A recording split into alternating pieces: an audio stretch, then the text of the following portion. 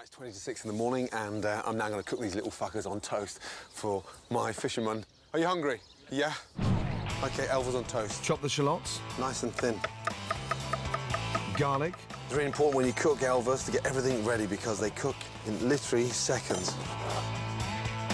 bread in, season with salt and pepper, add the shallot and a clove of garlic. Nice. To a piece of paper to drain. This is where we make the flour mix to take the Elvers to a different league. Powdered mustard, cayenne pepper, That gives it a little bit of heat. salt and pepper.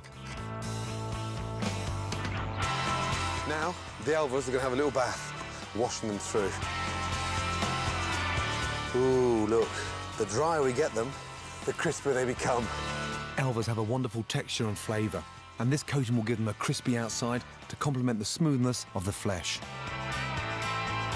And you little fuckers are going in the pan. Putting them straight into the pan is the quickest way of killing them. Frying like this ensures the Elvers keep their unique flavour. Very, very quick. Parsley, salt and pepper, lemon. And they literally take seconds.